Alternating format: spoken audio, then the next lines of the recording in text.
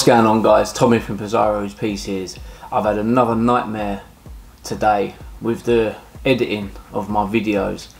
Um, as mentioned in the video last week, I did get some footage again this morning of me filming at the boot sale.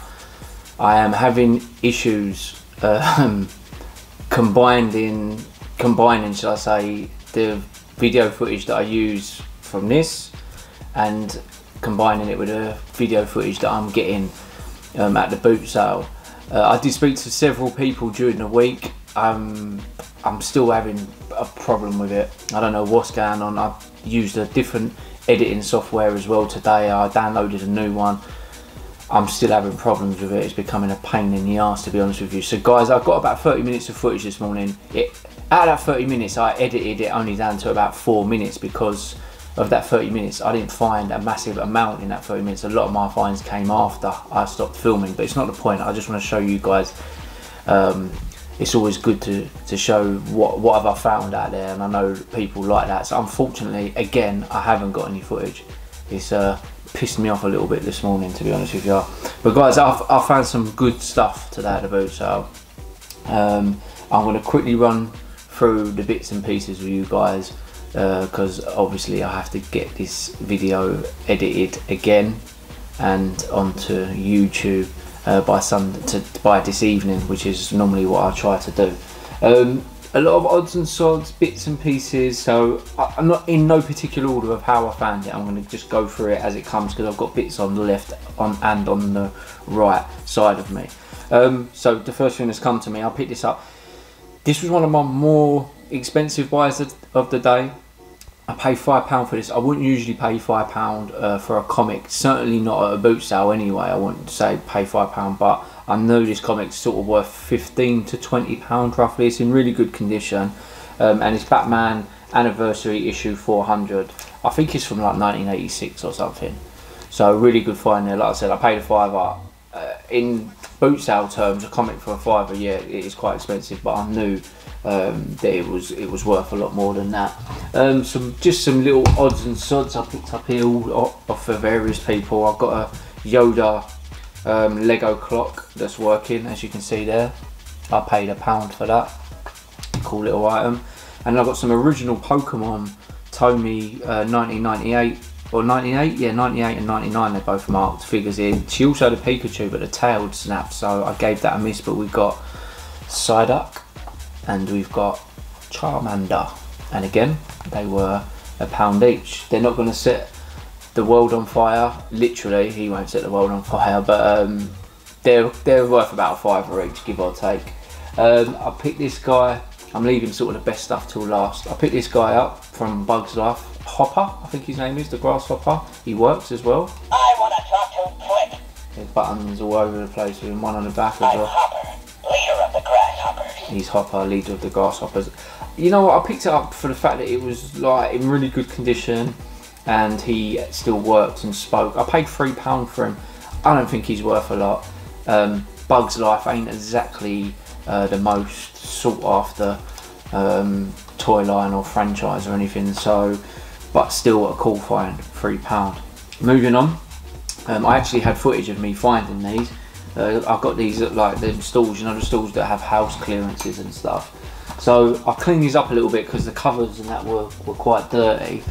But um, I paid a pound each for these, and these generally go for in this sort of condition. They're like red, they're a bit dirty, and that probably between sort of five and eight pound each.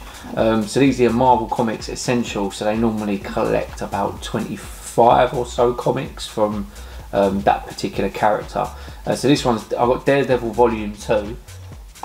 I've got there, and I've also got Daredevil Volume Four. I didn't see any others. Um, like I said, these were quite dirty, and I'll give them a little clean. And then I've got um, the Marvel Comics Essentials Volume One, Two, and Three of Tomb of Dracula. And I've looked; these ones actually go for a little bit more than the Daredevil ones. Are. So, you know, but these are always good for comic cons and comic mart and shows like that that I do. Um, so yeah, like I say, five pound for the five, not too bad, not bad at all. Oh, so far so good. Uh, I found this. This was one of my last ones actually, but I got this for myself. Um, I don't read books too often, but I read comics, but I don't really read books. Um, but I thought this was quite cool for 10p, and I thought it, it'd be a nice um, read on the flight to when I go America in a few weeks. So this is Ric Flair, best uh, bestseller at the New York Times, and this is To Be the Man. So that'll probably be a cool read there. So moving on, moving on, moving on. Found some vinyl. Don't usually get vinyl because, especially if someone's got like a stack like that, it takes time to go through. And I'm generally looking for toys. But this was at these two here were actually the first find of the day. Um, I paid a pound each for them. So we've got Ghostbusters, um, Ray Parker Jr. and then we got Axel F, obviously the theme from Beverly Hills Cop. Like I say, they were a pound each, pretty cool finds. And then I've got these two off the same person as well, and these are actually immaculate mint. Uh, we've got the double um, LP from Grease, the movie, and we also got the greatest hits of Walt Disney 24 original soundtracks. Let's put that there for you. Um, yeah, there's all sorts on here. Bare Necessities is on here. Winnie the Pooh, Zippity Doo Dah, Siamese Cat Song. So I thought that was a pretty nice find for a pound. Um, don't really know what they're worth. Probably not a hell of a lot, but still cool find. So sticking to the theme of, or we'll say sticking to the theme, while we've got some Pokemon here. Uh, I found these off the same lady. I paid a fiver for the two. Uh, we've got the Pokedex. So Argos catalogue, it weighs a ton. The official Pokemon Kanto guide and national Pokedex. All 493 Pokemon. Uh, there's some serious, serious stuff in there. It's a big, big book. Um, Nintendo DS. So this is the Heart Gold and Soul Silver version of this. It weighs an absolute ton. And uh, it's not worth that much. I think it's worth about five. But obviously this is, and I've, and it is complete. I've checked it, and it's in really, really good condition. Uh, so this is the Monopoly Pokemon game. This is the Kanto edition. I don't want to go too far forward because all the little bits come out. It's not sealed or anything. Um, but we're going to keep this for a little while. My missus said that she wants to play it and uh, have a couple of games before before we do anything with it. So yes, Pokemon, Pokemon, Pokemon. Moving on, moving on, moving on. Um, I actually found, uh, I actually found, got one of these yesterday at the um, toy show. I've done a trade with Empire Aaron at Empire Toys, and he gave me that Godzilla, and then I found another one uh, this morning. So pretty cool. I'm just digging through a bag here, guys, because uh, I've got a few little bits and pieces here. So I picked him up, Godzilla. He only cost me 50p. He's the 2014 Godzilla. You press this thing and he sort of whips his tail.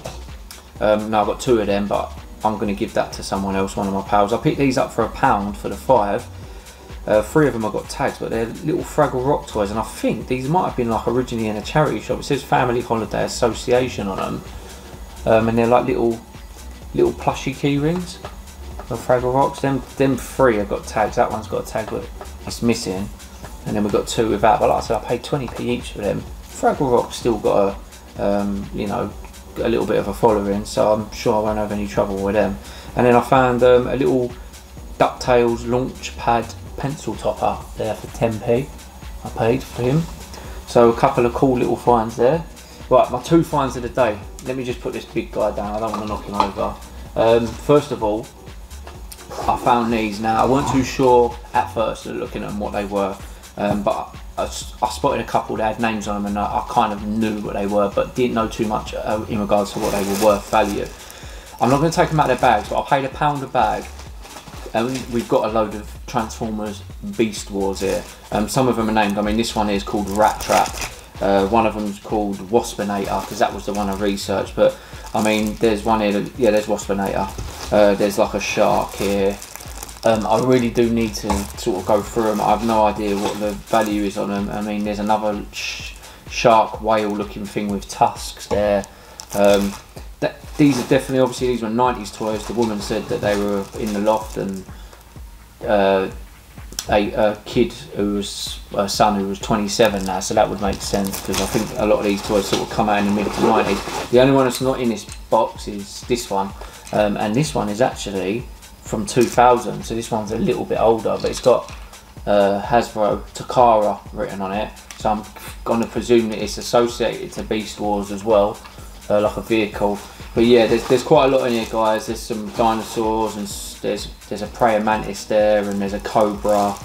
Um, there's a grizzly bear. So I just need, and then there was this one which I think is a knockoff, but I, which is a knockoff like dinosaur transformer. Um, I just got to get my head around all these. I didn't want to start opening all the bags and showing you guys. I don't know. There, there's some little bits and pieces in them. Some of them seem to have little weapons and that. But really cool find. Like I say, it was a pound a bag. Um, there was a guy I know who was with me who mainly buys games. He actually showed me these. He, he sort of said, look, and I, he spotted them. Uh, he took a couple for himself. I don't know which ones he got. Like I say, I don't know too much about them. I need to do a bit of research on them and find out what they're worth and stuff. Guys, find of the day though, and this was my last find. I'd already been well around the boot sale, and I thought, let me go back to one of the sort of couple of beginning rows because I got there really early. It was, it was dark and stuff. Nah, a woman had a, a woman had a box of figures, and I straight away I spotted uh, I spotted Mumm-Ra. So I sort of had a quick look and had a little dig. She wanted she wanted one pound fifty a figure. I picked up five figures, um, and she was like, "Yeah, just sort of give us uh, seven quid." So Mumm-Ra was one of them. We've got a couple of Power Rangers here. Um, don't know their names from obviously the, the 90s.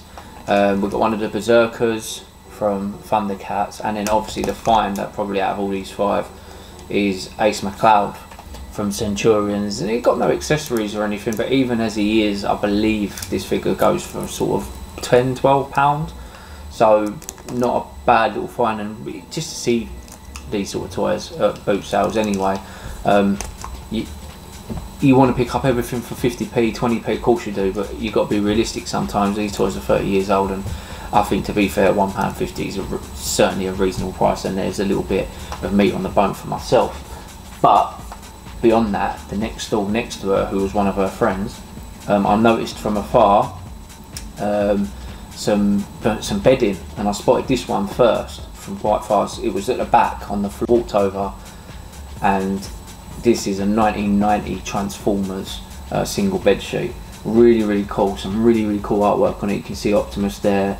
Um, I don't know all these guys. Some of it, I know Megatron's on here as well. There's some others, um, but it, and then on the other side there's like a big. Uh, it's hard to get it on camera to be honest with you. Let me see if I can quickly show you guys. Yeah, you can see like big Optimus there. So really, really cool. That was two quid. Um, but the really, really cool one, and I have already sold this. So if anyone look watches this and wants it, I have already sold this to um, a big fan of this franchise. Some of you guys will know him. Some of you guys would have seen him in previous videos of mine, showing off his collection. Um, I didn't know how much it was worth, but to a friend who collects the stuff, I was happy to just make some money on it, and I've probably sold it to him on the cheap side, which is fine. But this is a M.A.S.K. bed sheet. I'm going to try and show you guys as much as you can. I can see. I think Thunderhawk and Thunderhawk and Switchblade is it? I think are there. Um, moving down a little bit, you've got Boulder Hill. Uh, I think Rhino's in there. Um, really, really cool. Like I said, I don't know. Um, I don't know the rarity of that of this, but it cost me two pound.